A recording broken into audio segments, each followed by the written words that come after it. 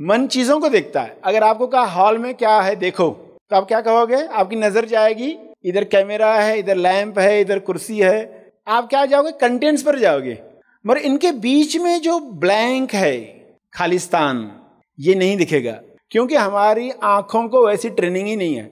हम जहाँ पर भी जाएँगे, चीज़ों को देखेंगे। और हमारी नज़र कैसे चेंज होगी? ये देखा, नेक्स्ट नेक्स्ट। ये बीच में क्या था? कागज़ पर पचास शब्द लिखे हैं। इन शब्दों के बीच में क्या है? वही है जो शब्दों के पीछे है। तो ये हमें नहीं दिखता।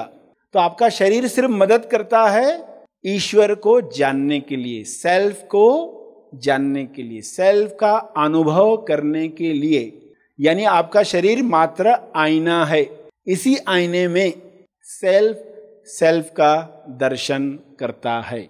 इस आईने में अगर बहुत सी वृत्तियाँ है तो ये आईना साफ़ नहीं है।